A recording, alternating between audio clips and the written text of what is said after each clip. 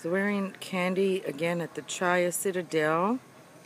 This is um, the Mahaweli uh, River. Outside our hotel.